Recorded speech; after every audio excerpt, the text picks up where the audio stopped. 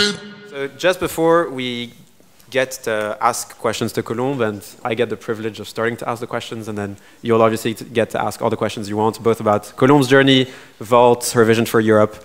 Um, I want to introduce Sigma a bit. So it's written in big, bold, gold letters uh, above me right now. But so um, the idea behind Sigma, which is a sort of new series of events podcast, it's not entirely sure um, the model that we're going to adopt. But the idea is to showcase young people who are tackling very, very difficult challenges. And the idea isn't so much to fetishize the fact that they're young, as much as it is to show that there are some very hard problems that can be tackled today by people who 10, 50 years ago would never have been able to tackle them. Um, and there's a variety of reasons that these um, problems can now be tackled by these individuals. You know, some of them are social. It's because despite what anyone might say, we've made a lot of progress as a society. Some of them are technological um, because despite, you know, all the downsides Facebook and other forms of social network may have, um, they've also enabled people who were marginalized, who didn't necessarily find their own kind um, in their local communities to connect with others around the globe um, and around their countries. And some of them is also social and economic.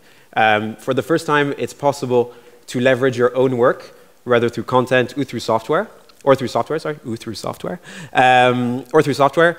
And instead of you know, having this constant pessimistic um, outtake on what the future of you know, technology and progress holds for us, um, I want to showcase people who are making, you know, take, willing to give up very easy careers or somewhat easy careers and take on super hard problems.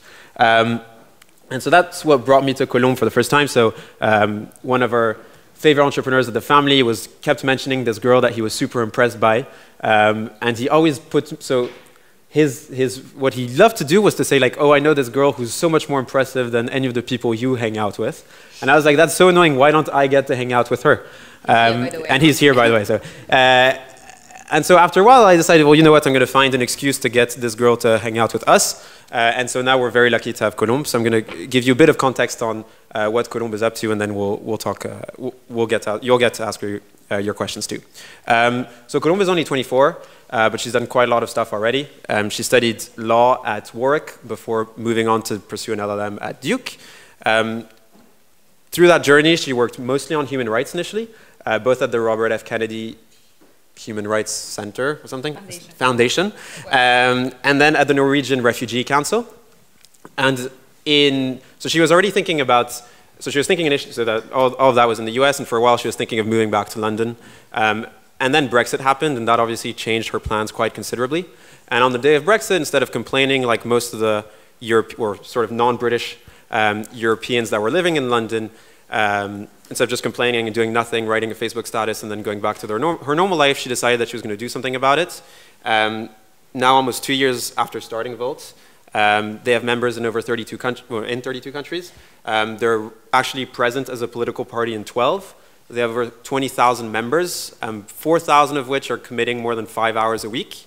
And they have 100 people who've actually quit their jobs to work on this election. So um, in addition to being head of policy at Volt Europe, uh, Colombe is also the sort with Louis, um, heading the list for Volt France in the upcoming European parliamentary election, um, which will happen in May, May 26th. May 26th, so go and vote. Um, and yeah, so they're running in how many countries? So we'll be running in at least seven countries. The reason for which we want to run in seven countries is quite easy. We want to form an independent group in the parliament, and to do this, you need to have 25 members of the European Parliament in at least seven countries. Most likely, because we don't think we'll just succeed straight away in seven countries, we'll run in 13 to 14 countries. Okay, so um, before we move on to our questions, I get to ask a couple. And before we move on to Volt, I actually want to know a bit about Colombe. Um, and I know Colombe is very humble and really doesn't like speaking about herself, and so I'm going to make her uncomfortable and ask her as many questions about herself as possible. I'm already um, uncomfortable. um, and, and then we'll ask more general questions that you're very used to answering anyway. Um, so before we start with Volt, I'd like to know a bit about you. So, um, you know, you're only 24, so school wasn't that long ago. Um, Duke was not that long ago at all, only yeah. two years ago. Um, what were you like at school? School, university, or school? No, like, like high school. Um, very stubborn. I'm still very stubborn. Um, I think I was a bit annoying with my family, but extremely stubborn. I think would be the main. Uh, quite a few. I mean, yeah. What about with your classmates? Uh, I hope friendly, nice. Uh, I mean, I, I was pretty average. And what about politics? So, were you ever considering running for anything? Was that like the natural career path from day one? Um, never. Uh, I actually didn't like politics whatsoever. I always wanted to go into human rights. I'm very lucky that I knew very early on what I wanted to do. Um, and human rights, international litigation, and criminal law um, was my thing. So I really liked terrorism, serious crimes, sexual offenses. It was my thing. Um, and so fighting governments or uh, defending um, people accused of having committed a serious crimes, never politics. And within three years, you're already no longer working on human rights. Or is Volt about human rights? So I think it's both. So I quit my job in human rights in August to do full-time Volt because it was just too much to do both at the same time. Um, and for me, Volt was a way to promote human rights in maybe a more effective manner than I was doing before as well. So it's not only about human rights, obviously. We have a very wide political program. But through Volt, you know, so when you work in human rights, you have to basically fight governments or try to convince them to do something that often they fundamentally don't want to do without any leverage whatsoever. Um, so I won a few cases, and my clients are still in prison. Uh, you know, you manage to change a few laws, and the same things sometimes happen. And sometimes you manage to get someone out, or you manage to change something, but down the line, it's up to politicians to actually put in the will to change anything. Can you be a bit more um, specific about the cases that you won yeah. where, you when so your clients are still in prison? I have a, um, so when I was working at the Kennedy Foundation, I work on sub-Saharan Africa and Egypt. And I have a client who used to work for Al Jazeera as an editor, uh, who was in prison now three years ago um, on bogus charges. Um, you know, Al Jazeera is not allowed to operate in Egypt. He has his family in Egypt. He was visiting his daughter. He got arrested, um, tortured. Not working. Not working, visiting his daughter for Christmas um, during the Christmas holidays. Um, tortured um, and never had a day in court. Uh, it's now been over three years. Um, and you know, you're not allowed to detain someone without enabling them to go to court in the first place. So we filed the case in front of the UN. Um, we won the case theoretically. Uh, communications were issued, and Mahmoud is still in prison and still hasn't seen a day in court. So what does it mean to win a case at the UN then? It means that theoretically the government then should follow up and should free the person if you know the detention is arbitrary. Um, and in practice, unless you have the US or a big power behind willing to actually push for it, it doesn't necessarily happen. So in other cases, when you had a dual citizenship, we got people out um, after years and years and years of negotiations. In this instance, it doesn't happen. And so for me, this was a huge frustration. You work so much on something, and then it's actually read that it's, you know, it results in anything, and people are still suffering as a result of it because of a lack of political will to change anything. And so, frustrated with the UN, you decided to move to the most efficient institutions of them all, and now you're running for EU parliamentary elections. Yes, um, but not only. Volt is not only about the European elections. So the idea of Volt is basically to have a pan-European political movement. So which ones of you are not French in the room? No one? Everyone is French? A few non-French people? Okay, I bet that with some of you, um, we actually share many problems. Whether, so I'm French, I'm from Paris, uh, but that we share many problems, whether it's you know, finding a good job or finding affordable housing or having access to education, traveling and so on. We do share many problems. Yet, we have no party that actually represents us. So if you're German, Italian, Romanian, or Bulgarian, we are part of a political union, but there's no political party to represent us. So the idea of Volt was to find European solutions with one political party, and it doesn't exist right now in the European Union, to represent all of us, and then to also be active at the national and local levels. So we don't only want to be in the European Parliament. So what are the parties in the, in the European Parliament if they're not pan-European parties? So right now in the European Parliament, you have what we call groups. So the first time I saw this, I just I wanted to bang my head against the wall. I didn't understand what it was about. You have groups that are called ALDE, EPP, Greens, or whatever. And inside those groups, you have national parties. So, you know, En Marche, uh, Les Républicains, or whatever, will join a specific group with a different name in the European Parliament, with other national parties that have different national interests, different priorities, that often actually quite, conflict quite a bit. So for example, I'll give you a very practical example the right wing in France normally joins the EPP, which is the right wing group in the European Parliament. You also have Orban in the EPP. When you vote for the right wing in France, you have no idea that you're actually voting de facto for Orban. Because in the European Parliament, they form the same group, so they pass policies with the hard right, which can also be more than Maybe right. give a precision of who Orban is, just so that people know. So uh, you have basically, I, am happy to talk more about Orban, but you have basically politicians and political groups that are way more hardcore, uh, whether it's on the rule of law, disrespecting it, uh, cracking down on civic space, cracking down on the judiciary, um, who are willing to compromise European values, which are, you know, democracy, um, the respect of the rule of law. Well, that's uh, openly anti-Semitic. Yeah, also. Um, and you have no idea that you're voting for this when you vote in France for uh, Les Républicains or others. And it just doesn't make sense. You can't expect citizens to think, okay, so I vote for my national party, but then they're going to you know, fight with other national parties in a European setting that I don't fully understand. Um, so Volt is also an answer to change this. We have Volt Europa, which is a European organization, and then I'm also part of Volt France, uh, but we have Volt in 32 countries now. We go beyond the EU. And this is one of the things we want to change. When you vote for, or if you vote for Volt France, and I hope you will vote for Volt France, um, you actually vote uh, for the same program in Germany, in Italy, in Bulgaria. And so you know what you actually get yourself into. You don't just have a big manifesto that is very nice, a bit pro-European, a bit green, a bit social. You have very concrete policies, and you know what you get yourself into. And so, like, I think it's all good and well to have a pan-European party, um, but it's quite. I mean, you know, I think the case for having coalitions of national parties is probably that people feel much more close to their national identity than they do to their European continental identity. And so before we move on to whether Europe even exists really, um, I'd like you to tell me what it means for you to be European. Why do you feel European? So it's a complicated question. So I was lucky enough to study in the UK, um, where I met some of my best friends, you know, where I started my career and so on. And so I didn't feel, i am French and I do feel French to a certain extent, but I also had this other culture coming in.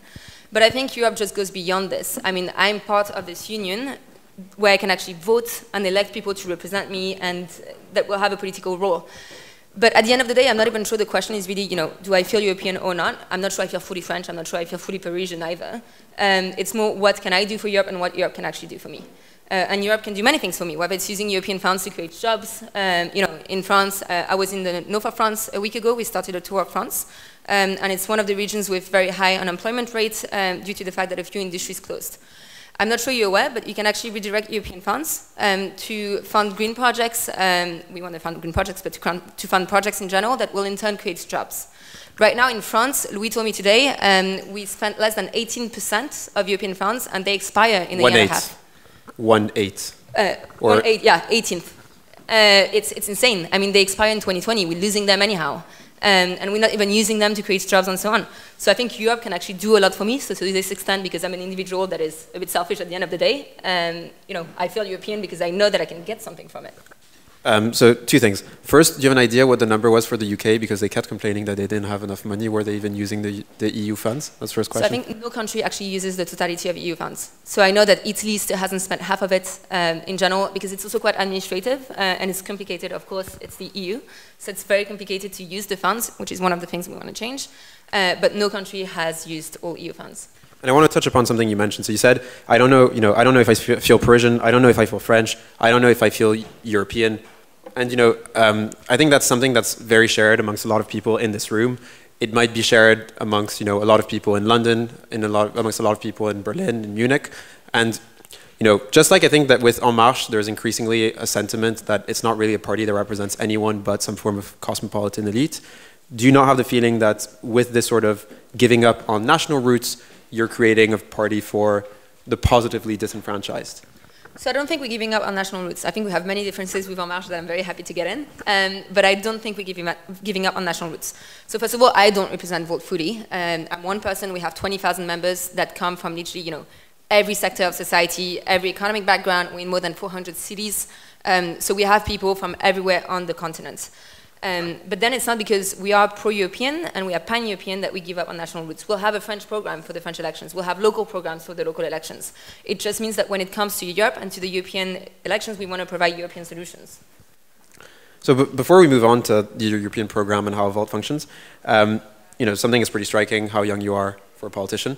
Um, most people that you're surrounded with probably don't care about politics at all and don't really even understand how the European Parliament works. Um, why do you think that is? Why are they so depressed and cynical about the prospects of politics? Um, so I think one part is on the European Union. It's extremely hard to understand how the EU actually functions, what it's about. Um, most people around me don't even know there's a European election coming up. And honestly, if I wasn't part of Volt, I probably wouldn't know either. Um, there's very bad communication around it, um, and it's just, it's such a complicated uh, system. I mean, I'm still often, when I look at it, banging my head against the wall, being like, how does it actually work? What can I actually do? Um, so I think there's a few elements to it. First of all, we need to simplify the system, but second, people don't feel like they have a voice in the European Union, which is something we want to change, but it's, I think, also often the case at national level. People don't feel like they can actually participate. And so the reason for which personally I never joined an existing party before, you know, I could have joined En Marche or any other party before this, but started to create um, was because I thought, indeed I'm very young, uh, and I'm also a woman, that I would never have had a real voice in any other political party. So I would probably have been able to come, sit in the back, listen, try to raise my hand once or twice, uh, you know, propose something and wait to grow older uh, to be able to have a real voice, which is, you know, I said at the beginning, I'm very stubborn, I don't like to wait, I want to be able to express myself. Um, and so this is one of the things we wanted to change with Volt by enabling people to participate. But I think it's also what needs to change in politics in general and in the European Union. Citizens don't get how they can participate. And you have concrete ways to participate in EU democracy. So I don't know if you're aware, but you can actually file a European Citizen Initiative, which is, yeah, so I didn't know. No idea on any of this. Me neither before. So you can actually file it, and it's, you can propose for the Commission to review um, a proposal that is in its competence and it might one day propose it to the European Parliament. The threshold is 1 million uh, signatures, so it's insane. Uh, but you have ways theoretically to participate. Coming from different countries. Coming from at least seven countries, I think, with different thresholds. I mean, it's overly complicated once more. We need to simplify it. But you have a few ways to participate in European democracy. Uh, we want to enable people to participate more, and I don't mean direct democracy and referendums. I mean, for example, uh, you know, citizens' assemblies, what's used in Ireland. It works really well or in Italy, before any piece of legislation is actually introduced, citizens get to comment online with their ideas. And it's not only to pretend to have a fake debate, like some of the things that are happening in France right now, but it's also so that you have more creative solutions at the end of the day, um, and you have positive feedback. And in general, pieces of legislation actually improve when citizens um, put their opinions and give their advice. Um, so when we were talking earlier, I asked you, how long do you think you're going to stay in politics? And you replied, God, hopefully not too long. Um, I feel like every politician that ever spoke to anyone said the same thing. Why should we trust you when you say you're not going to run for president in 20 years? That's a big question. Um, so I think, first of all, I'm not sure you should trust me because I don't necessarily like politics or because I don't want to stay in politics. I think you shouldn't trust me blindly ever. I don't believe in trusting people blindly. You should read the program we put out. You should read our values and see whether you like it or not. It's not about me. It's never been about me and it will never be about me. Um, Volt is about the thousands of members we have. It's about the, the way we do politics and the ideas we have. So you shouldn't, I mean, I'm very happy if you trust me and if you like me, but you, you shouldn't just trust me. It's never been about this. Um, about presidents, uh, I mean, if you don't trust me but trust the program, it's not whether I'm running one day. On a personal level, um, I love human rights. It's my passion. It's always been my passion. This has been a way to create something that I think was really needed, a pan-European movement, whether it's us, you know, or we create a model that can later be used. Um, but it's not. There's a great quote from Andrea saying that if you fail, at least you'll show that it's possible to start something like that. Yeah, exactly. And from the inside, we actually show that the EU can work. You know, we from more than 32 countries with people. Our members actually range from the age of 14 to 92, and we do manage to find solutions and common policies. So we show that to a certain extent it works. And we show that there's a new way of doing politics where people can actually participate in decision making and so on. I hope we'll succeed, and I think we will. And I think it's needed right now and not in 10 years because of what we see right now in France, but across the continent with um, the rise of extremists and so on. Uh, but for me, I did this because I kind of had to. Um, you know, there's a few Volters in the room. We call people involved Volters. There's a few Volters in the room. Um, Nicely misleading because it sounds like voters. Good one. um, but until very recently, uh, they all know I didn't want to become a candidate for the European elections. I just really didn't want to, and a few of them had to convince me personally to do it. Um, I didn't think I would necessarily be the best person at first, uh, but I also, it's not what I enjoy doing in my life uh, necessarily. Now it's also a lot of fun to meet lots of people and do those events. But you know, the idea of being 24, going in front of crowds, um, taking a lot of hits in the face, like you normally do in politics, um, and so on, when I had a career that I also loved, wasn't necessarily what I wanted to do. So you've been touring Europe quite a lot. I think now you're focusing mostly on France, but before we sort of dig into France, I want, I want you to speak about Europe. Um, I sort of hinted at it earlier. Like, there is this question of European identity and whether it actually exists. You know, until recently, women's rights were essentially non-existent in Ireland. Um, I think the French and the British have very different understandings of what the role of the state should be. Um, I think that we don't have the same approach to education when you're German or when you're Hungarian. Across that trip, what sort of came back as the most recurring values or the most recurring understandings of what both Europe should provide as an institution and what it means to be a European? So basically, the way we function and the way we created, just for those of you that don't actually know Volt, um, is we had people that reached out to us and decided to create a local Volt um, chapter or a national one, and then often um, some of the key team members, so those that invested the most time, uh, would go to help do the first event, uh, which is sometimes an event like this, but with two or three people, um, and where you recruit one person that in turn will recruit a few others. Um, so I did quite of those first few events with very few people.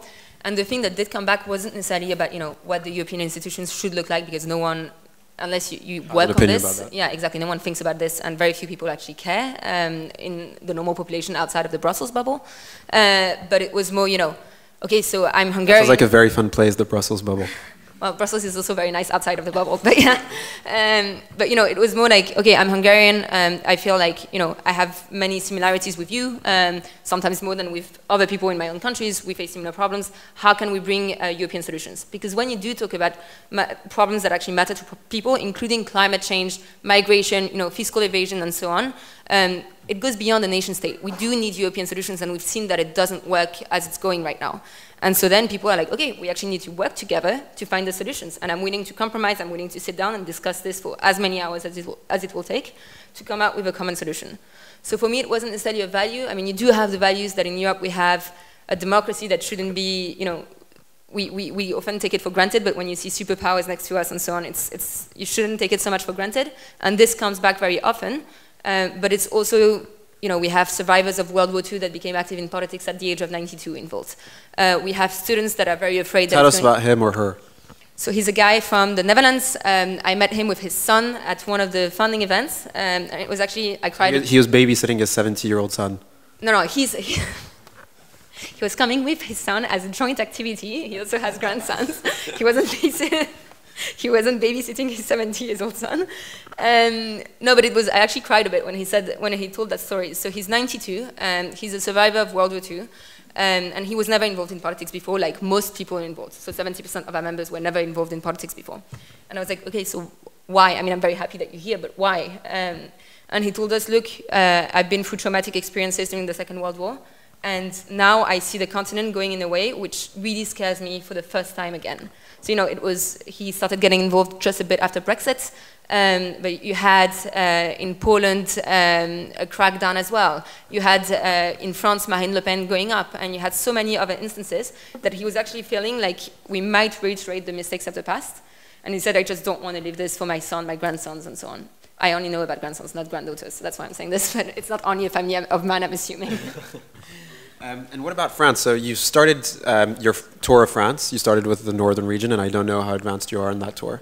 Uh, but I'm wondering if you know, just like in Europe, you have uh, in different places similar issues coming up and similar opportunities. I'm wondering if you have the same thing, and whether when you go around, you're like, you meet people who are like, oh, finally someone who's coming out of Paris um, and who's thinking about slightly different issues, or if people are actually like, oh, we have no identity, you know, we don't relate at all to what's happening in Paris.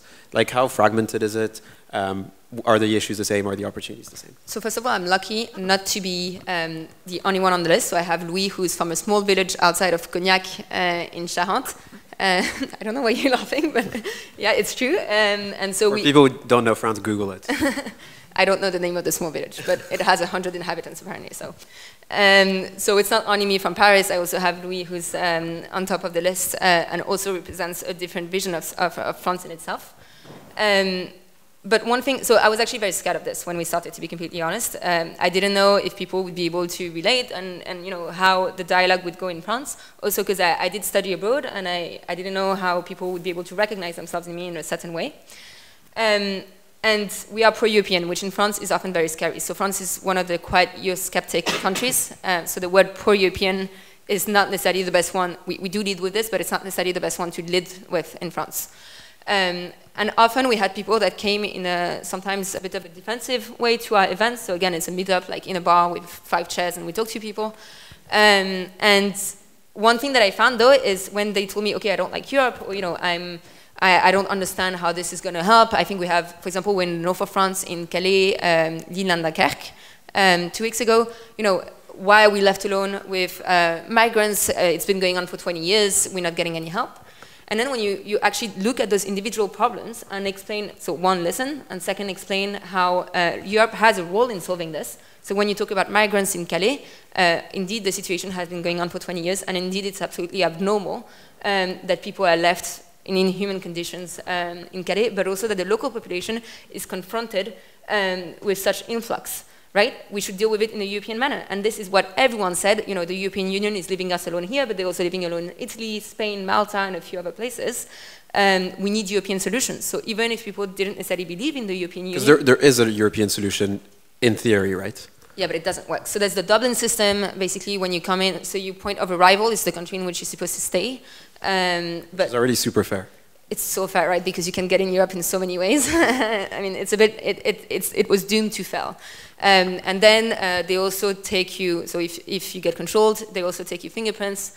Um, and so whenever then you get to another country, often if you claim asylum and it's rejected, you, go, you, you send back to the country. So for example, we met an Ethiopian migrant who's been in Calais for more than a year. He tried to cross a few times. Um, he speaks perfect French. He studied um, in uh, Lyon at one point, I think, uh, in the past before coming. Um, and he was saying, he said something which really shocked me, or, or really stayed with me. He said, I'm the slave of my um, fingerprints. Uh, je suis l'esclave de mes empreintes. Which only applies um, under the Dublin system. And it just doesn't work. So what, what, did he actually mean by that? So basically, he, he arrived in Germany, um, and he didn't speak German, and uh, he felt like there were many racist instances against him in Germany. He felt like he wanted to stay in France because he spoke French, or England because he spoke English, uh, where he could actually, you know, integrate and uh, start a new life. But every time he tried, he would be sent back to Germany. Um, but Germany is one of the good examples. You know, most people arrive in Italy, or right now in Spain, actually, it's the majority of arrivals. Um, and which is unfair not only to, to migrants to, to, stay there, but also to the Italian people. You can't expect one country to deal with all of those refugee, uh, refugee flows, right? Mm. Um, so this is when the Dublin system just doesn't work. We ask, we're supposed to be solidar, we're supposed to work as one union, yet we ask a few countries to deal with migrations on their own. Uh, it's the case of Italy, and we saw it with Emmanuel Macron, who uh, a, few, a few weeks ago, a few months ago, I'm losing track of times during the campaign, but a few months ago um, said um, to Italy that they were very inhuman for not accepting people. Uh, and for not opening their ports. I don't know if you remember, but we do have ports on the Mediterranean um, people can actually come to Marseille. Uh, uh, the port has been closed for since July 2017 to migrants, but people can actually come in uh, to Marseille. It's not just in Italy. Um, and it, of course, really pissed up Italian people. Uh, Salvini actually went up like 5% in the polls following this, of course. Uh, but it's also very unfair. You can't expect a few countries to deal with problems um, that could also be opportunities, and uh, the rest to, you know, sit back, relax, and wait for it to pass. And so it's not just on um, how we handle migrants that Europe has a lot of differences. Like I was reading some of your articles, and it's crazy how different the rules are country by country when you're operating as a political party. Um, and I just want you to talk a bit about that because, yeah, it's just insane. Yeah, so again, we're supposed to be a political union, right? But we so th there's a few things that are a bit abnormal about European democracy. We're supposed to be a political union. When you vote, because you will all vote in May um, for the European elections, you vote for a parliamentarian that will theoretically represent you. Yet this parliamentarian will not be able to propose uh, pieces of legislations. Uh, it's not in the power of the European Parliament, which would be insane. Like if I said this, you know, parliamentarians in France can't propose uh, pieces of legislations, you would be like, what? Who's supposed to do that? Exactly. Like, you know, I vote for you to propose legislations and to represent me, but you can't do it. So there's already at the European level quite a few things that are not very logical that we need to reform. But then also in the rules of operations. So since the Second World War, I believe that it was to stop outside interference into, into different countries' politics. Um, and before the European Union didn't exist, but you can't have a European political party. So how we function, we, we basically created an association uh, that we incorporated. We're very hybrid. Uh, we're trying to adapt to a system that is against us at first. Um, but Volt Europa is not a political party because European political parties can't exist. So we have to create national political parties. The last European political party didn't go well. Yeah, I mean, the last European political party is what, the, the Nazis, Nazi Germany. Uh, yeah, so it didn't go so well. Uh, euphemism. Yeah. um, but so, so, you have to create national political parties to be able to operate um, as a political party and to be able to run for the European elections. Uh, so we already created 12, but imagine having to create uh, political parties in different countries. It's, it's a huge burden. In some countries, it's actually really hard to create. Uh, in France, it's not the easiest job either. And then once you have a political party, so we have 12 with different uh, you know, ways to apply, You have lots of different ways of operating. So I can tell you quickly about France, but then there's some even more normal countries. Um, so in France, for the European elections, we have a threshold of 5%. It means that you elect at least four to five parliamentarians or no one, which is a bit insane. Like, if I'm elected, I don't need to go with four friends to the European Parliament. I can go meet other parliamentarians and work. I don't need four other people in the first place. Um, it, yeah, and it's a way to kind of stop small parties as well from being elected in the first place and from um, representing citizens. It was, by the way, deemed unconstitutional in Germany. They had a similar rule um, four years ago because it's against the principle of, you know. And it was even lower threshold. Yeah, it was 3%. Um, and the Constitutional Court said that it was against the principle of equality of chances and equality of votes. So if you vote for me uh, and I don't pass the 5%, uh, you, my seat will go to another party that you didn't vote for. Um, so it's a bit insane, uh, but that's not the only thing. So for example, for those of you that are not French and that went to vote in the past, you probably had a unique ballot, which means that you had the, the names of political parties and you ticked a box and then you put it in the ballot box. In France, when you go to vote, it's not like this. You have lots of different ballots, little squares, with the name of the political party, sometimes a face, different colors. You pick at least five, you put one in the box, and the other four you throw. So first of all, it's a huge ecological cost, which is a bit insane in this period of time. Um, but then it also means who actually pays for those ballots in the first place. Well, guess what? It's political parties. So political parties have to pay for the printing and the distribution of ballots. So for a small political party and a new political party, it's extremely hard. It's at least 800,000 euros.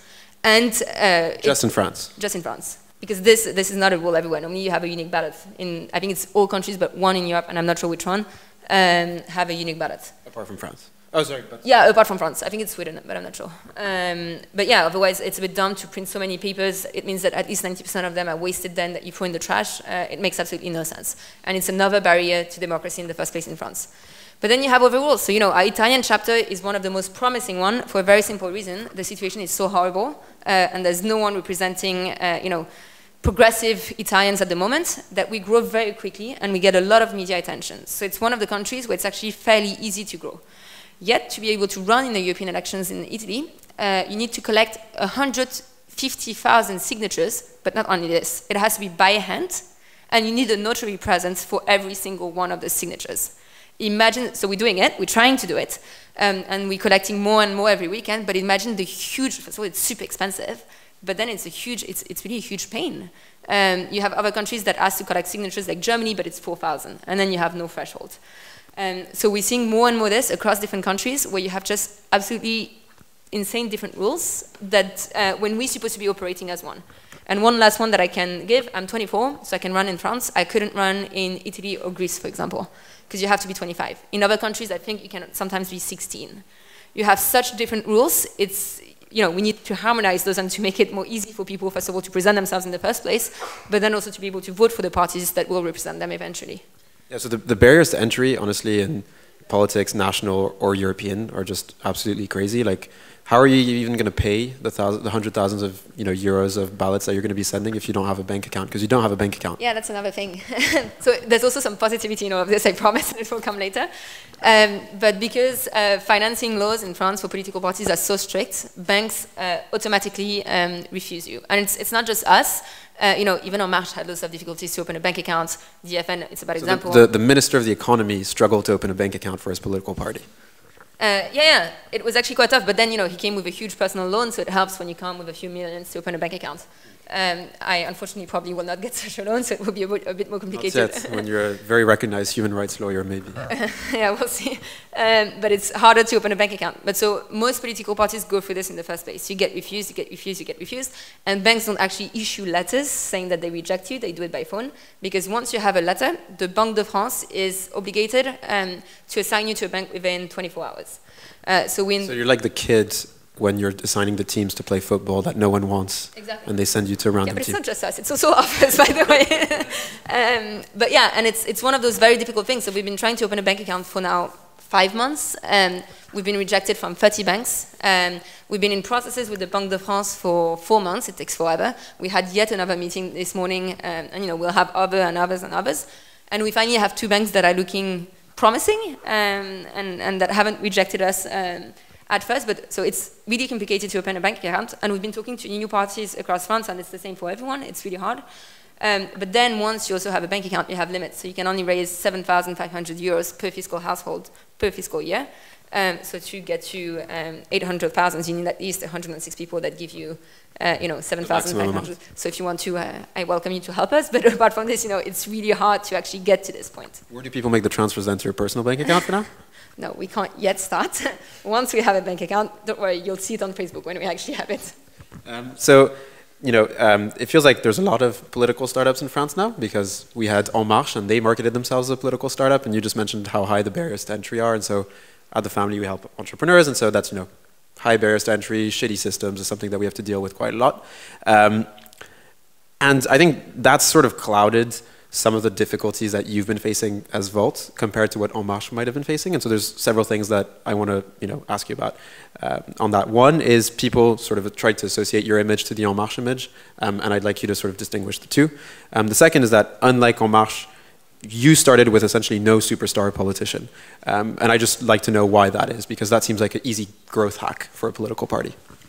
So first on how we differ from Marche, so I'll start by the internal organization and then um, by the political views. Uh, so for the internal organizations, one of the fundamental things about Volt is that we want to be very democratic and participatory. So if you join today, and I hope all of you will join today, you will have exactly the same voice than mine. So you'll get an equal right to vote, an equal right to propose policies, you'll know how decisions are made, you'll be part of the decision-making processes. For me, it's one of the reasons that pushed me to create um, Volt, and it wasn't necessarily linked to En Marche at first. It's just I knew that if I joined any party, I wouldn't be able to vote on policies or propose my own ideas, and I had many that I wanted to propose. Um, so internally, democracy is very important. We believe in democracy. We advocate for democracy in our program, for participatory democracy. So let's lead by example and actually apply it to ourselves instead of asking others to do it in the first place. Then we are indeed not centered around a superstar or one person. And this was very important to us um, because, you know, Emmanuel Macron at one point said in his campaign, I think, it's not when someone asks him about the program and the lack of program, it's not about the program, it's about the man. Um, and for me, that's everything that's wrong in politics in the first place. It's not about the man. You don't govern alone. You know, if I'm elected, even as a parliamentarian, you have a team behind you. You have people that you consult. Uh, it's about actually your ideas, your policies, and what you want to put into action. So we wanted to make sure that, first of all, we had content, um, and that, you know, we were structured in a healthy, democratic manner.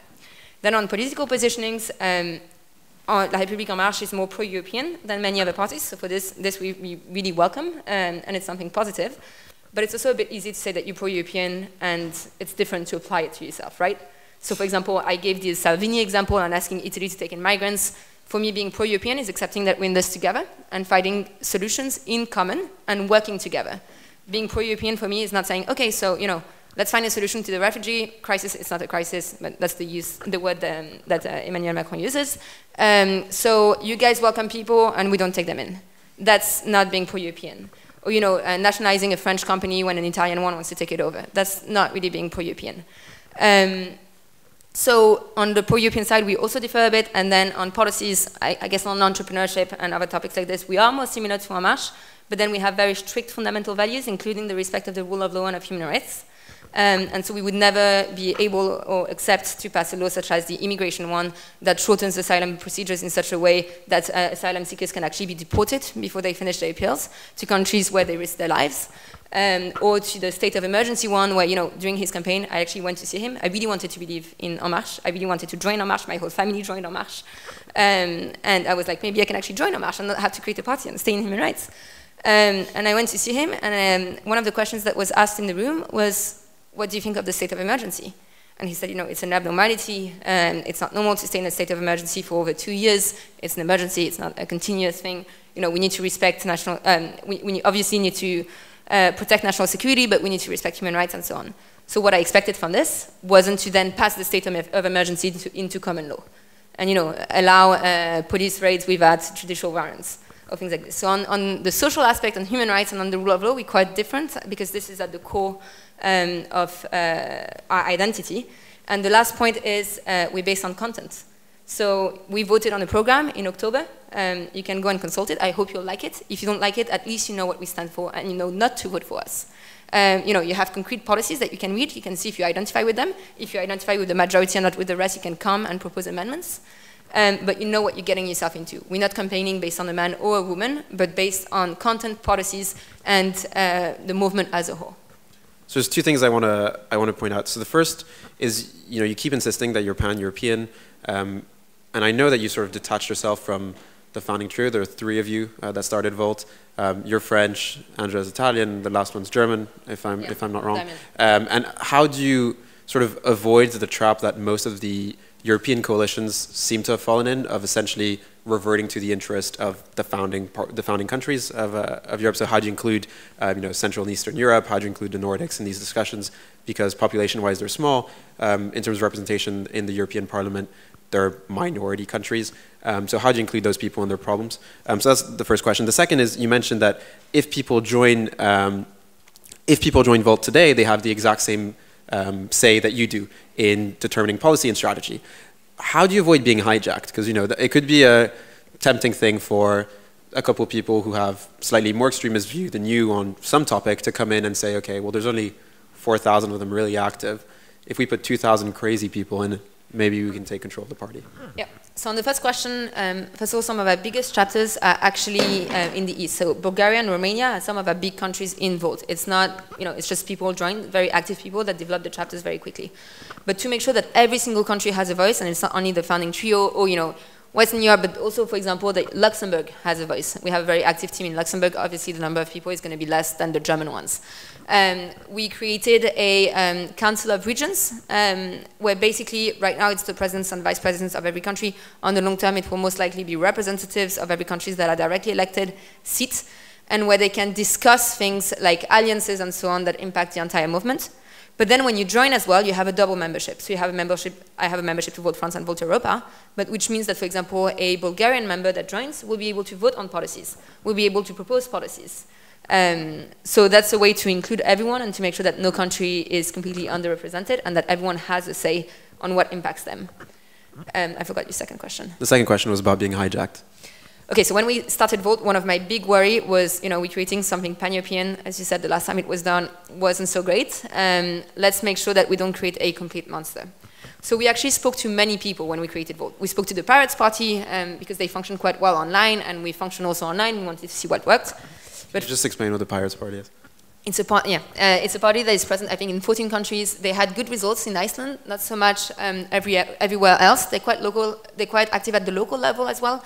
Um, I think their core policy is transparency and fight against corruption. Um, and they have a kind of pan-European spirit. Um, it, it's, it's a quite different animal, but it was very interesting to speak to them and to see what worked and didn't work.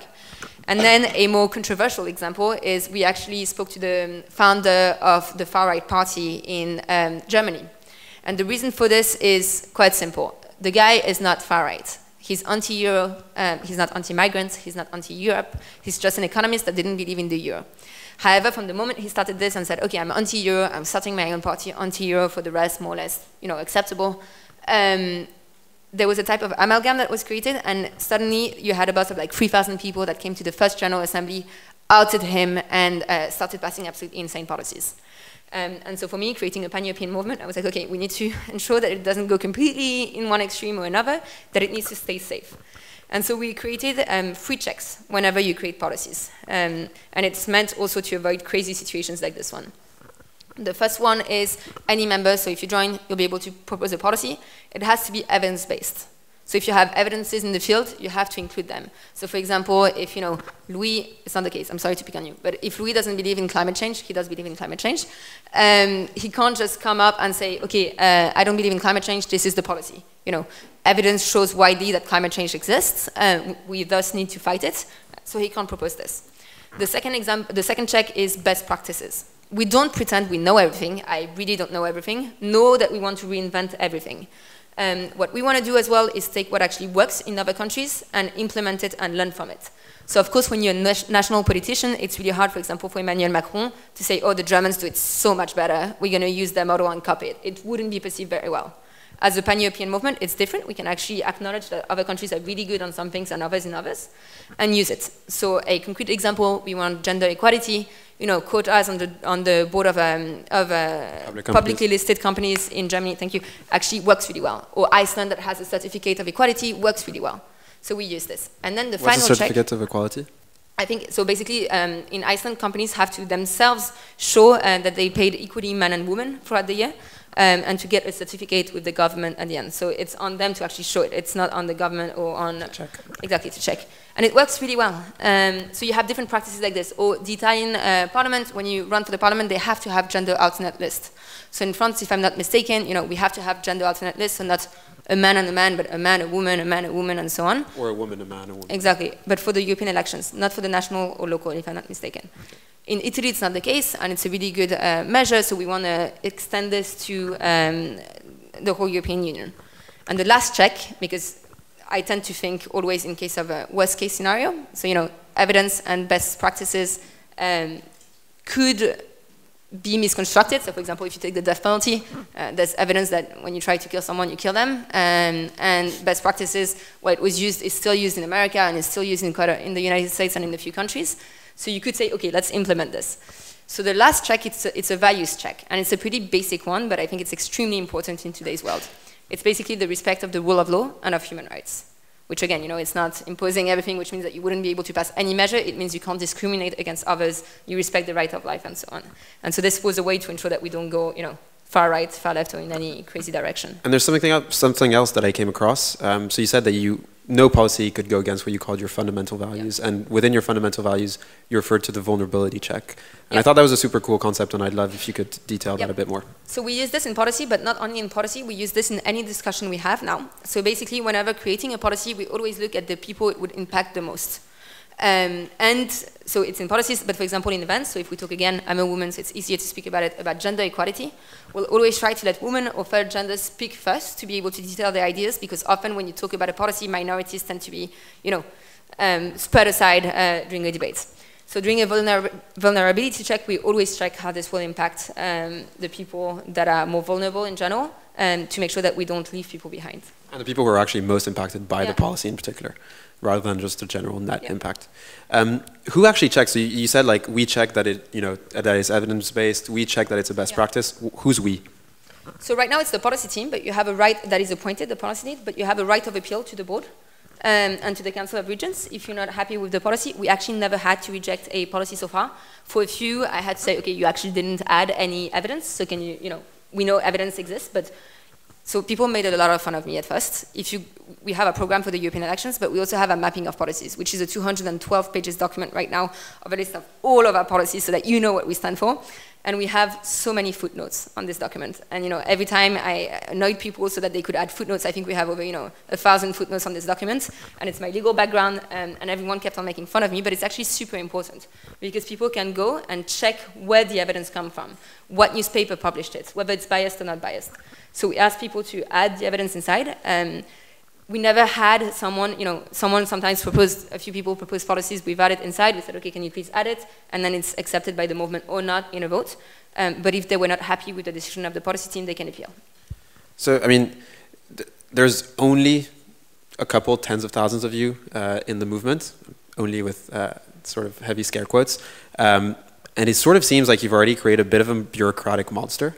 Um, and I'm just curious how much that slows you down and what the day-to-day -day process is like, both in policy decisions, but also strategy decisions. You know, in um, the startups we advise, sometimes we have first-time founders who come and they're like, oh, we haven't decided who the CEO is yet, and so we're sort of co-CEOs. And we tell them that's a nightmare because good startups tend to be dictatorships. Um, there should be one person who should be making decision at any time because what actually is most likely to kill you isn't a wrong decision, it's making no decision at all, right? Um, in the case of a startup political party, I'm wondering if you have the same thing. So obviously, you don't want to have a dictator, um, but having all these processes of one person, you know, or council checking whether um, this whole vote was okay, and then having a policy team that's checking whether the evidence is actually the evidence. Like, how do you actually manage the processes? How do you make sure that you can respond quickly uh, to demands, and how do you make sure that you're adapting your strategy um, often enough that you know you're competitive as a political yeah. party. So when we started it, we spoke to the Pirates Party, and it's one of the biggest issues. So sometimes to come up with policies or programs, they take weeks, and so we're super scared to do this. I think to start with processes, uh, and people call me a bit of a process freak within Volt, but um, it's extremely important exactly not to become a dictatorship. Um, so you know, if you don't have a clear process of who has a, the right to do what, um, then you have people that start to bypass it, and you know, oh, we really need a position, so I'm going to take it. I shouldn't have the power to take it if we're democratic movement. So we need processes, but that, that are um, efficient at the same time so that you can do it quickly.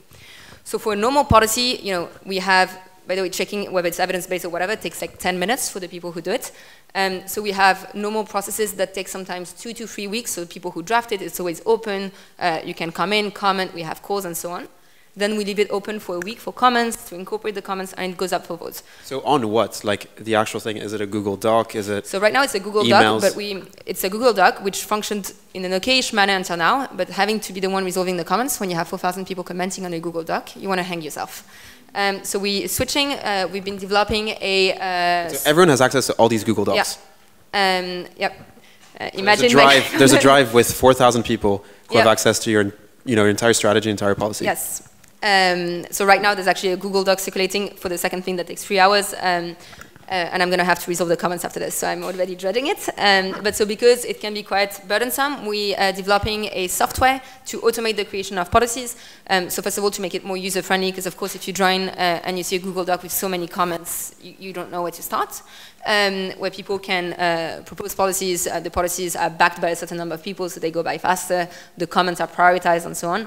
Um, we've been, it was an open source software, so we're adapting it to our needs. Um, so it will go faster, but then also, you know, sometimes you need to take an urgent decision, and you don't have three weeks to come up with a position. And this is where often participatory parties actually face really difficulties. So we have special mechanisms um, to actually put in place to be able to answer to this. So for example, today we're doing it on a, um, the Franco-German competition rules that want to be amended. Uh, we've been asked to issue a statement. We don't have three weeks to do it, um, so it takes three hours. So basically, you know, we did elect a president, a vice president, and a board that are mandated with taking political decisions. So what we're doing is we do open a Google Doc, we write it, people can comment, comments are incorporated, because when people comment, we get a better solution at the end with more participation. And then the document is um, checked by the policy team to check that it doesn't conflict with any existing policy and adopted by the board. Um, and if the board oversteps in some way, then you can always appeal to the regional council, but it takes three hours to have a decision. And how do all these people communicate? So, like, I have no idea how traditional. Actually, that would be a good thing. If you could explain how a tr- normal traditional political party works, it's like how the local chapters coordinate, um, how the chapter leaders communicate. Like, how does all that stuff work? So What's the back end of a political party? So I've never been in a political party before Volt, so I'm not the best person to say this. Didn't check best practices. Uh, I did check, so I can tell you what I heard, but I can't tell you firsthand. That's that's how it works. Um, so if you take, for example, En Marche, which was credited for being one of the most participatory parties we had in France so far, um, you know, you have you had I don't even know how they called it, citizens councils at the local level where people could propose ideas, and then it would go up to the headquarters where in an obscure room people would take decisions on whether to include this, not to include this, who to have on the list, who not to have on the list, and so on, right? So you could propose lots of ideas, you're not sure how it's used. Um, within Volt, we want to make sure that we're transparent. So obviously, the policy process I just described, make sure that anyone can participate. But then um, you also have other points. So we work on a platform, online platform, um, which is called Workplace, where everyone has access. So I work with people from every single country every day, and you communicate directly. Uh, so if someone has a problem, uh, they send me a message, or if someone wants to propose something, they send me a message, ask for guidance, we have a quick call, and we discuss how to do it. So it's very horizontal in the sense that, you know, you, you, you literally talk to everyone. Um, and this platform enables you to see also what other countries are doing. So we have country groups on it, you can see. Um, so a very dumb example, but I was in the UK a week ago uh, for the General Assembly, and you know we have flyers that we distribute in the street to get people to come and um, listen to Volt or come to a meetup or learn more about Volt. They had a really cool flyers. It wasn't just you know two-sided. I know I speak in a weird way about flyers. I'm not obsessed with flyers. It's just a good example. Um, you know, normally it's one side and the other. They actually had one that opened on recycled paper. An edgy flyer an edgy flyer. It was a really cool flyer, you know, like simple words explaining it really well. I wouldn't have seen it, so I posted it on Workplace, and other countries are beginning to translate it and use it. So you also, as a result, you know, interact more with other countries and see what they do well, what they don't do well, what you can use, what you can't use. Who built Workplace? Because I think this is important. So Facebook built Workplace, and before I say the big bad word, um, Facebook, so we were before on Slack, um, but Slack, you have to pay uh, after a certain number of users, and it's very expensive, uh, and we couldn't afford it, and it's also not very natural for people who don't work in a startup environment to use Slack. Uh, so I used it at work before, uh, but most of our users came and were like, wow, this looks, I don't know how to do this. Workplace, because it looks like Facebook, is more natural, and it actually has um, better uh, data protection um, policies. On the long term, we do want to build our own platform and be completely independent. On the short term, you know, for not-for-profits, it's free. Uh, it has, it's the, one of the best ones for data protection, so we use what we have. And I think it's quite contrarian to be a Facebook-enabled progressive party. You know, you have a few, they don't say it, but you have a few parties on the workplace. Who? Um, I don't want to say wrong names, and I had this discussion with uh, Workplace a while ago, uh, but you also have a few French parties on Workplace. Oh, that's cool. Um, and so, actually, so coming back to Facebook, um, so you know, Facebook obviously had very controversial implications, or at least was sort of misused by a couple foreign actors. We don't really know what went on, um, but at least it got a lot of bad press. Another platform that's been used a lot for politics recently is Twitter. Um, and what's interesting with Twitter is that most of the use has been from individuals, right? So Trump, when he's speaking on Twitter, speaks as Trump. He doesn't really necessarily speak as the president of the United States, and definitely doesn't speak as a member of the Republican Party.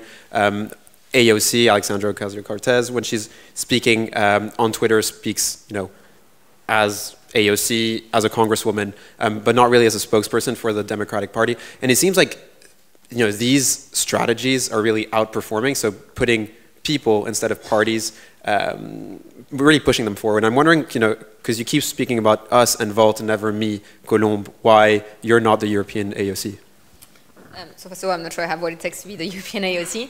Um, so I think there's two elements to it. On a personal note, I feel very uncomfortable in put. So you know, being here is okay, uh, but if I was to speak in like I, Colombe, whatever the whole time, and, and about myself, I would I feel very uncomfortable about AOC it. doesn't just speak about herself. I know, no, no, I know, and I, I, you know, she has an amazing communication strategy on the side and so on. But I, I do feel very uncomfortable. I think you know it comes with time, and I'm learning so much just speaking in front of you guys. Uh, you know, six months ago, I would probably have had to take a shot before, um, and I actually did it once. So I'm not kidding.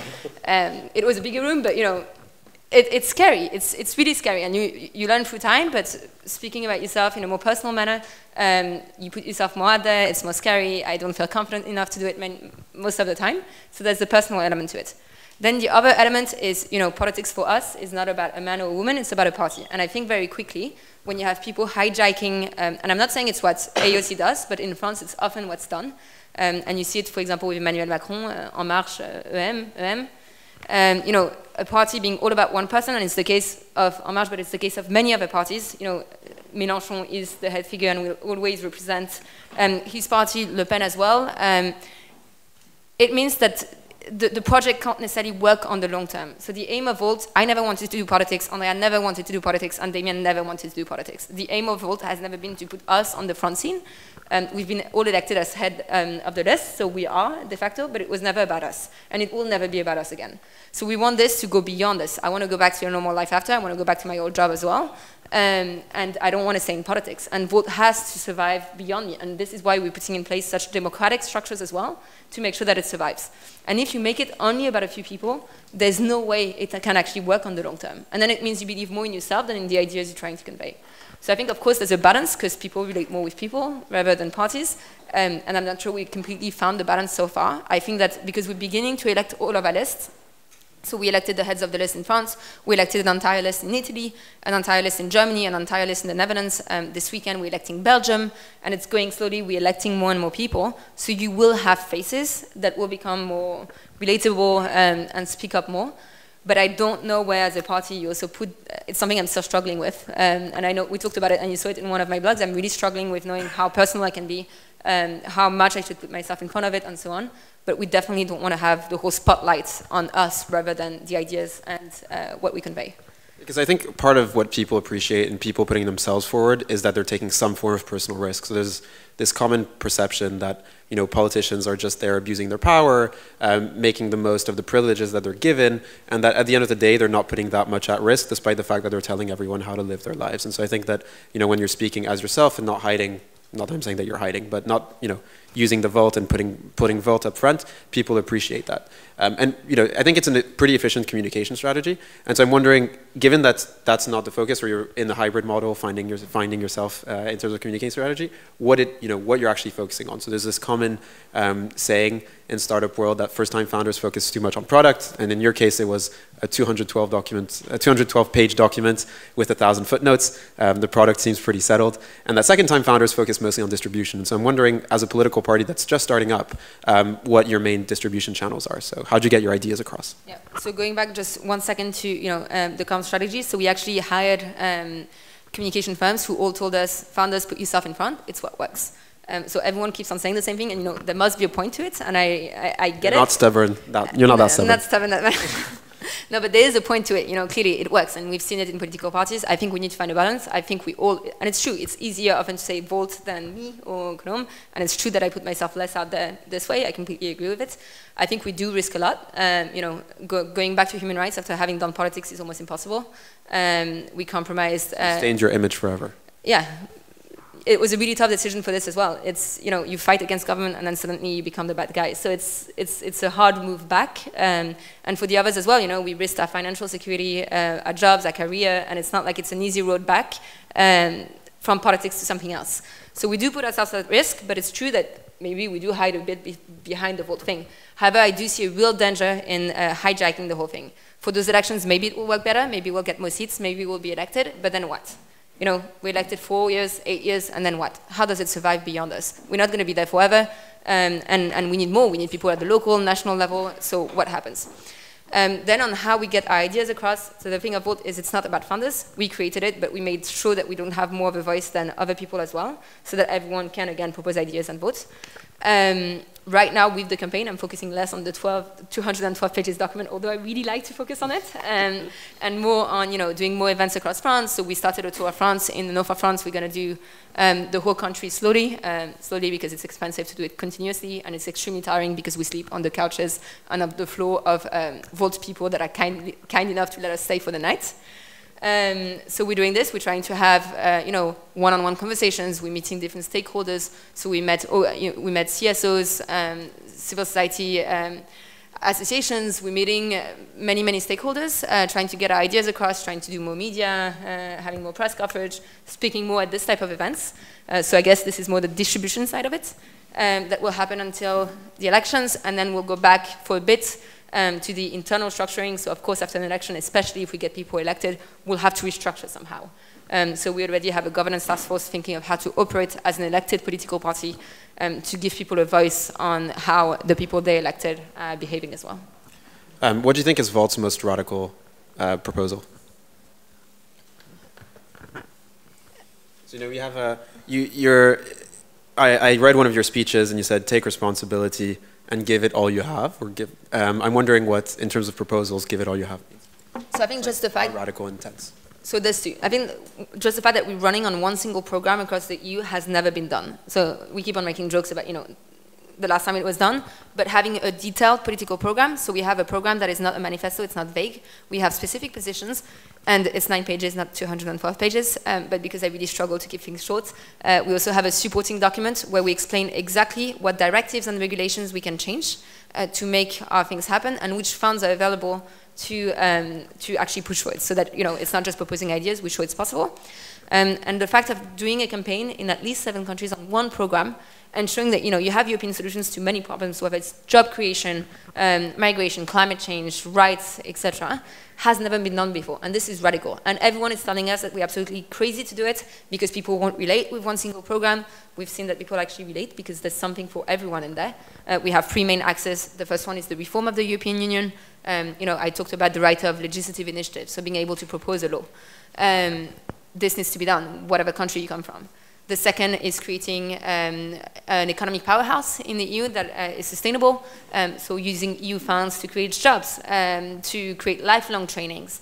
And the third one is having a just and um, responsible uh, union. So we talk about equal rights and so on. And in this, whatever country you come from, you will find something. So if I ask any of you what your main concern is, by the way, generally in Europe, it's security, jobs, and housing. We have a solution to this. Um, and it's never been done, and it shows that we can actually do politics as one. Then the most radical policy in itself. Uh, I mean, it depends on your personal um, feelings. So for me, because I come from a human rights background, it tends to be equal rights for all, and making sure that, for example, women have exactly the same rights than men, whether it's in France, Poland, Italy, Bulgaria, or Romania. Uh, so the right of abortion everywhere, or other rights. But it might be, for Can you list the countries where that's still not the case? Not to put you on the spot, the fact like some yeah, countries where it's not the case. So, for example, in Poland, you don't have the right of abortion, but it's not only having the legal right. So, in many countries, it's actually very limited. So, in Sicily, which is you know one of the big islands in Italy, you have one doctor providing abortions. One doctor. So it's legal. In practice, it's completely illegal. You can't actually get an abortion. In France, in many regions, you don't have hospitals providing abortions. So it's great to have the right. If you can't use it, it's completely pointless. Um, and it's so people make fun of the many U.S. states and Planned Parenthood said, but uh, it's actually not that much better here. I mean, the US is a bit more extreme because sometimes you actually have to drive 14 hours to get uh, to an abortion clinic in another state, and they manage to pass ridiculous laws like if corridor, if the corridor of the hospital is not 1 meter 37 instead of, you know, 1 meter 35, you can't keep your abortion uh, center open. But yeah, but in many countries it's just illegal. So in Poland it's just illegal. In Ireland until recently it was illegal. Um, so for me, this is a radical proposal to make sure that we all have equal rights. And I'm talking about abortion, but I could be talking about any other rights. You know, the right to marry whomever you love, um, you know, the right to seek refuge in a country and to have the right to work from day one. So in France, you're a refugee, you can't work from the first day. It's not only very dumb in terms of uh, finances for the state because they have to pay for allocations and you don't contribute to the economy. It means that people can't actually integrate, can't start their lives over, um, and it doesn't help anyone. Um, but then, for example, for some other people, the reform of the European Union, so the fact that we want to change the institutions from the inside, we want to make sure that parliamentarians get a right to represent you. We want to, you know, put defense uh, at a European level, so create a European army, um, share more intelligence, go towards a more federal Europe. This might be said in some countries, and in, it, it depends on your personal beliefs, that it's more radical. What happens after the European election for Volt? So the aim has never been just the European elections. To be honest, when we started it, we didn't even think of the European elections because we didn't know when the European elections were. Uh, it was available, we just didn't evolve in the, in the circle. Um, so very quickly we found out when it was, and it was a good point. I mean, you Googled it? Yeah, I Googled it. I mean, I Googled, you know, I still Google often how Europe actually works. I studied EU law, but still, you know, often it's, it's complicated, and I Googled the dates of the elections, how you vote, uh, you know, how you participate. I Googled all of this, watch YouTube videos, and so on. Uh, and we also have experts in the moment. Um, by the way, it's not, we do have experts that know also and worked in the institutions and so on. Um, but it's never been, the aim has never been just the European elections. It fell at a good moment because it enables us to develop as one party in a coherent manner. Um, so the fact that we're running in at least seven countries means that we're running together as one movement, we have a common aim, and you know, we're way more connected this way than if we were only to run at the local level. But in France, um, in 2020, we have the municipal elections. So we're going to be running in the municipal elections. Um, the same day than the European elections, you have regional and federal elections in Belgium. We're running in both. Uh, we're going to be running in municipal and regional elections in Italy. Um, and slowly, we want to run at every single level of government um, to make sure that we can represent citizens in the best way at every level. So before we open up to questions, I have three small ones. Um, the first one is what makes you most optimistic about Europe, mm -hmm. not just you know as a set of institutions, but also as a continent. Um, the second is about you know you, you keep mentioning your life after Volt, and I'm curious what you know what how you 10x your ambition um, after having created the first pan-European party. Um, and the last is about someone that you look up to as an inspiring figure, man or woman, politician or not. What's the first question again? The first question was, what makes you, what makes you optimistic about Europe? Um, so for me, one of the main things that has actually, and that keeps me going, because you know, it's not easy every day. Um, you take a lot of slaps in your face, people are very aggressive on social media. Um, it's not easy to grow necessarily. Um, it's the members and I'm not just saying this because of you, of you are in the room, so I'm forced to say it. And it's also because it's true. So we have quite, we had, we have close to 100 members that quit their jobs or post their studies to do this full time. So often it tends to be members that worked for a few years that can actually afford to do it. But you know, the fact that you're willing to put a stop to your life for quite a few months. Because that's something that you didn't mention. How are you funded? Just yep. I add that. That's a sort of three and a half questions. Okay, so I'll mention it just after this one.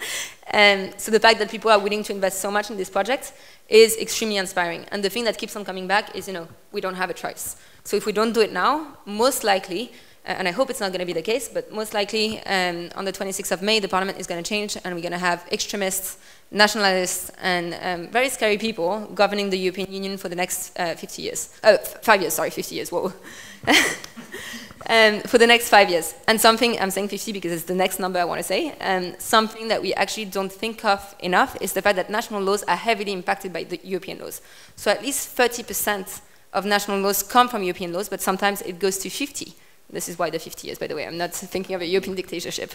um, so the fact that people are willing to take this risk, and it's a risk, you know, they really put themselves in front of the line, and they stop many of the things they're doing. It's all consuming, you work way too much. It's also exhilarating, and you work with incredible people, but it's, it's a tough thing to do, is the thing that gives me the most hope about our generation and um, the future. Second, how we funded. Um, so we're super transparent on donation, um, mainly crowdfunding, 95% crowdfunding. Um, so we put different crowdfunders online asking for salaries, asking for something, and so on, and we raise funds. Um, of course, we want uh, higher donations, um, and we had just a few, but anytime we have a donation that goes above 3,000 euros, we disclose it on our website with the name of the person. Of course, the person has to consent to it, otherwise we send back the money. Um, and this was super important to us so that people can know uh, what interests lie involved. And one thing, in France it's legal to accept corporate donations. It's not illegal in most other European countries. We took the decision very early on not to accept corporate donations, not to be lobbied too much one way or another. We tend to make our lives so much easier in Volt, but yeah, not to be, uh, to, to be lobbied one, one way or another. And so where does the money actually go? Because you can't have a European party, so they can't give to that. Um, in France, you don't even have a bank account, so how do you make donations? So, so where does the money go? So yeah, money transfers for political parties and pan-European political parties is a living hell. Um, in some countries, you can actually transfer money to national parties. Uh, in France, it's obviously completely illegal. Uh, but so we spend it, for example, we have a congress in Rome um, on the 23rd of March with a thousand people coming. So on this, on operating the European team, so we hired a few people um, mainly candidates, so we're not now not hired by Volt anymore, but um, we hired a few people for a couple of months. Um, so the salaries, offices, um, social media advertising for our Volt Europa pages, um, but then we try to fundraise mainly at the national level otherwise. Okay, back to the two questions that I, I initially asked. Um, so the, the next one being what's next and how do you 10x your ambition on uh, after having created the first pan-European party and the last one, one person you look up to what's next? Um, so we hope to be elected in the first place. I hope to be elected. Um, if it's not the case, I have absolutely no idea. Uh, being completely honest, um, it's hard to go back to an old job from this. Um, it's such a weird model of operation, you know, at, at 24, directing a policy team and then running. Um, I think I'm going to take holidays that I haven't taken in, in, in two years, sleep, and think about it. So this is in, in four years' time after you're elected? If yeah, if, I'm elected. If not, I'm taking a, a couple of weeks of holidays and sleeping. Um, but yeah, otherwise, I don't know. We'll see. And the young person, actually, person that you look up to, and then if he or she isn't young, a young person that you look up to. And you can't say Adrien because he's not that inspiring. I know. I was thinking that since you started by saying that you know he talked about me, I felt a bit obliged. But if he's not that inspiring, he's or Victor, or Victor. Okay, so the two are extremely inspiring in the room, and I'm not objective because they're my best friends, but I do think that some of the most inspiring people I know. Um, one of my previous bosses at the Kennedy Foundation um, is a Colombian woman um, who taught me literally so much. So I didn't realize when I got in, uh, for example, all of the times I was interrupted as a woman, all of the times I couldn't actually speak up. Speak up. I thought that I was young, non-American, with an accent. Um, so obviously, you know, people had the right to behave a certain way towards me. And she managed to do it. So I'm stubborn, but I'm also quite direct, um, which can sometimes put people off. So, you know, when something happens, I'm very direct about it. And she managed to do it in such a subtle way, get her points across, um, and get exactly to where she wanted, that she taught me, I think, more in a couple of months than uh, many, many people. And a young person, or younger than you? And then that's my last question. Um, if you don't have one, that's fine. I think, for example, but it's gonna it's gonna sound a bit uh, you know normal to say at this time, but the students that started the uh, climate marches across Europe, or the students that decided to stand up against gun violence in the US. But it's not one person in particular, and this I think is what we need to remember in this generation as well. It's just people who are willing to start something, and then others join and act on a daily basis to get their points across. Um, and you see those people that are 14 to 16 years old, um, and who actually change the future of their countries and of their continents. And I know one in Volt. Um, his name is Angelos. He joined when he was 16, I think, uh, when we started Volt. Um, Greek, um, and he's been one of the most amazing policy writers we had. And we have people that have worked in the commission. More footnotes than you? Uh, yeah, I think, and I think the guy will be present. You know, he will be way more amazing than I am, and so on. Um, but you know, you you see these people. Literally, he couldn't come to any of our assemblies because he was a minor. Um, of course, we have parental approval, but you know, he was a minor, and so on. Um, and who are willing. But he's just an example. You know, there's so many of us who are willing to actually work every day after high school instead of going out with their friends or doing something to change things again, inconceivable stuff 20 years ago. Uh, before we open up to questions, I'd like all of you to thank Colombe for coming um, and give a big round. Thank you for having me.